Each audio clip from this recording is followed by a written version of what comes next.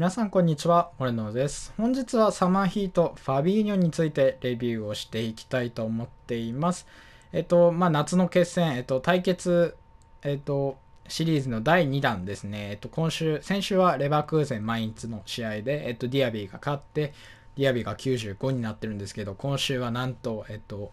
プレミアの、まあ優勝は決まってるんですけど、首位攻防戦、マンチェスターシティ対リバプール、それでファビーニョとフォーデンが出ています。で、えっと、まあ非常にね、皆さん結構話題にはなってるんですけど、能力値がめちゃくちゃ強いです、この選手。トータルスタッツ2570ぐらいあるのかな、アップグレード前で。今現時点のでの、えっと、能力ですね。で、もしリバプールが勝ったら、このカード95になって、もう、このゲームでトップクラスのスタッツになる予定です。まあ本当にリバプールが勝つかね、なんとも言えないっていう感じなんですけど、まあこのカードね、今日アップグレード前なんですけど、見ていきたいと思います。で、えっと、身長が188センチで、えっと、ワークレートがミディアムハイ、えっと、非常にね、守備に長けている選手です。で、利き足が右足、スキルムーブが3スターで、逆足が、えっと、ノーマルカードは2スターなんですけど、えっと、3スターにアップグレードされています。で、えっと、能力見ていきます。本当にね、欠点という欠点がなくて、あの、めちゃくちゃ強いです。えっと、今回、えっと、エンジンつけています。理由としては、まあ、おそらくね、シャドウかエンジンなんですよ。で、えっと、やっぱりドリブルっていうのは、この選手、ボディタイプがハイアベレージプラスで、決してね、えっと、ドリブルがしやすいボディタイプではないんですよ。えっと、なので、まあ、ドリブルっていうのは絶対的に上げといた方がいいと思ったので、とりあえずエンジンをつけています。ただ、まあ、ちょっと違うなと思ったら、まあ、シャドウでペースをマックスに上げるのもありかなと思います。もう本当にね、これからプラス3ずつ単純にね、上がっていったら、もうやばいですよ、このカード。っていうぐらい今のスタッツも強いですし、もうえげつなくなる予定です。えっと、で、値段が12、3万ぐらい作れるのかな？なので、あの、まあ、レビューする前なんですけど、間違いなく作っといていいかなと思うようなカードです。で、えっと、まあ、ダイビングタックルだったり、えっと、鉄人ロングパスメッシュ、まあ、あんまり関係ないかな、ここら辺。で、えっと、今回使っていくチーム、こちらです。えっと、主にね、4231の CDM で、えっと、まあ、ちょっとチームコロコロ変えてるんですよ。あの、ブルーノやってる関係で。で、えっと、CDM、エンドンベレが、えっと、まあ、先週、先週？もう2週間前ぐらいかな、に出て、まあ、このカードもね、非常に能力値が強くて、えっと、まあ、僕はかなり好きです、このカード。まあ、このカードと比較っていうのも最後お話しできればいいかなと思ってるんです。おそらくやった方多いのではないかなと思うので。で、えっと、戦術ですが、えっと、4231のロングボールのロストプレスですね。まあ僕が最近いつも使ってるやつで、えっと、ファビーニョの場合は、えっと、中央カバーのパスコースを切るをつけていますで、今回4222にはあんまり使ってないので割愛します。っていう感じで早速ですが始めていきます。ではまずドリブル見ていきます。この次の選手がファビーニョですね。えっと、この黒っぽいスパイクの選手がファビーニョです。ドリブルに関しては、僕が期待してたもの以上はありました。えっと、スピードだったり、まあ、ドリブルの細かさだったり、そこまで思ったよりは重くはないです。ただ、えっと、このシーン見てもらうと分かるんですけど、ここがエンドンベレなんですよ。エンドンベレと比較した時に、かなり重さは感じちゃうなっていうのが、えっと、印象でした。エンドンベレがこのゲームトップクラスのドリブルスタッツを持っているんですけど、これがファビーニョですね。それと比較をしちゃうと、あの、まあ、比較的同じ値段帯の2人なんですけど、かなり重いなというのが僕の印象でした。で例えばこういうシーンとか、まあ、前に行こうとするじゃないですか。ただ、ファビーニョのドリブルスタッツだったら、ちょっと重すぎて、前に行くことがかなりリスクがあるなっていう、あそこ前を向くと、ちょっと隙を与えると取られちゃうなっていうのが印象があって、まあ、CDM から、ま、前に供給するパスとかドリブルっていうのは、少し、うん、少しというか弱点だなっていうのは印象がありました。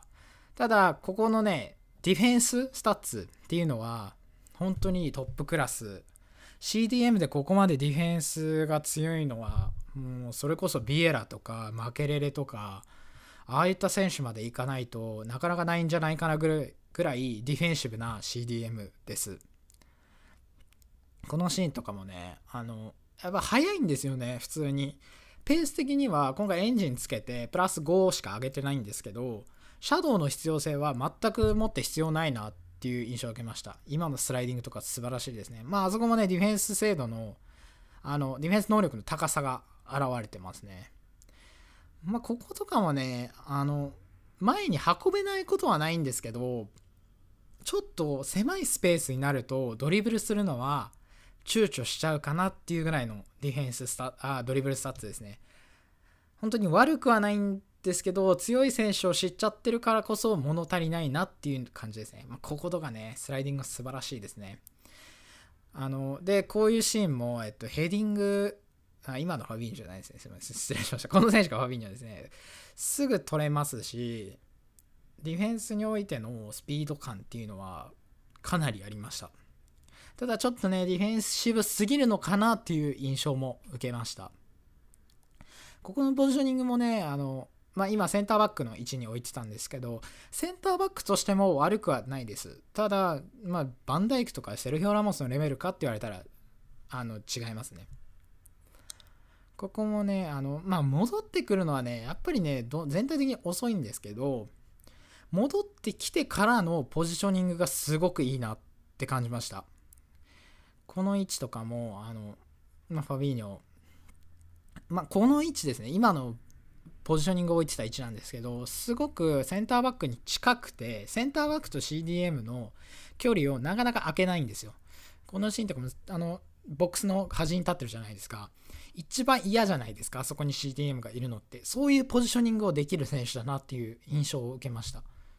まあ、ここもねインターセプション素晴らしいですね本当にねディフェンス能力に関してはこのゲームでも、うん、なかなかここまである選手はいないですで、最後シュート1本だけ。この選手ロングシュート打てるので、まあぜひね、あの、使う方は打ってみてください。結構ボックス界、あの動画見てる感じだとかなり入りそうなんで、ぜひ打ってください。ってな感じで、とりあえず置いてきます。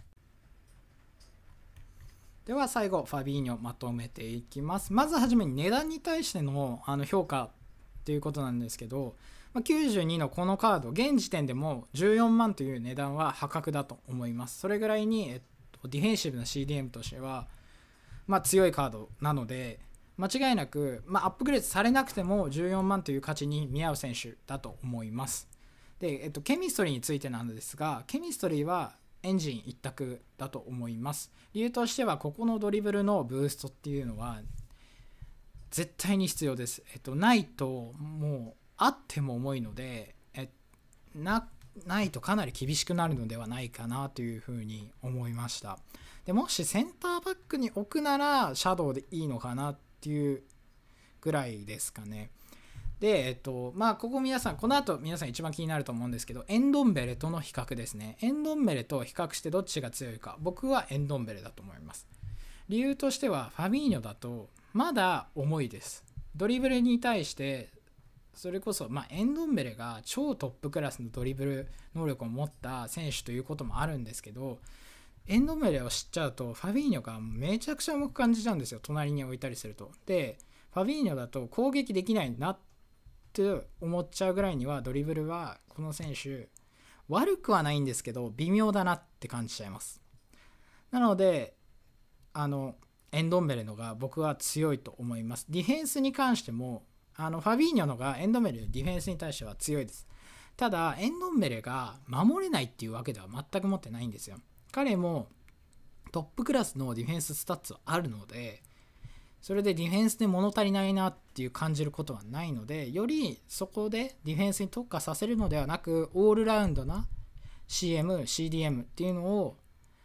僕はね、あの好むので、まあ、結構ね、好みの問題もこれあると思います。なので、ドリブルができないファビーニョは僕は今現時点ではそこまでのカードだなと思います。それはあの本当にレナート・サンチェスとかナイン・ゴランパウリーニョとかのティモシーズンの50万から100万台の選手と比較してもこの選手ファビーニョは欠点があるんですよ。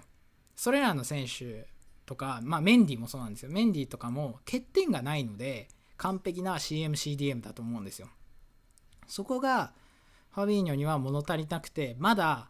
この選手は改善の余地があるかなっていう印象を受けましたちなみにね僕メンディーの CDM はめちゃくちゃに強いと思うのでもう段違いに強いと思いますそれらのカードに比べて躍動感だとかもちろんペースっていう問題もあってあと5-5なこともあるのでメンディー CDM は本当におすすめですただじゃあ作らないべきかっていうお話になるかもしれないんですけどそれはえっと違いますこの選手のカードプラス3のアップグレードの可能性が残されてるんですよで現時点92のカードでインゲームスタッツが2562なんですよそれってデヨングの Team Season のカードと全く同じ数値なんですよ。もちろんね、デヨングの方が全然強いです。正直なこと言っちゃうとそのままのカード。まあ、スタッツだけでは測れないんですけど、この選手がね、プラス3のブーストをもらったら、おそらく、モドリッチより、うん、強く、ここの数値だけを見れば強くなると思うんですよ。っていうことを考えると、ここのドリブルが改善される、ここ全部プラス3されたらかなり違ってくるんですよ選手って。もう全体的にプラス3されるので。で15万という値段を考えると間違いなく作るべきです。でおそらくプラス3のブーストがもし来たらこのゲームで一番強い CDM になる可能性があるカードなのでそこはリスクを取って作るべきだと思います本当にねあのまあシティとの試合なのでどっちが勝つかわからないんですけど、まあ、結論として作っといた方がいいと思いますとアップグレード来なかったら SBC に溶かすのがいいのかなっていうのが僕の結論です。ですね。えっと、ってな感じで今日終えていきます。で、この後、フィル・フォーデンも明日、まあ今日明日やろうかなと思っていて、イブラの動画も後ほど上げます。っていう感じで、えっと、まあ引き続きね、えっと、コンテンツどんどん上げていく予定なので、ぜひまたチャンネル登録まだの方はぜひともよろしくお願いします。それと、高評価もお願いします。っていう感じでちょっと喋りが長くなってしまったのですが、質問とかあれば、あのいつでもください。コメントでも DM でも。っていう感じで今日も見ていただきありがとうございます。ではまた。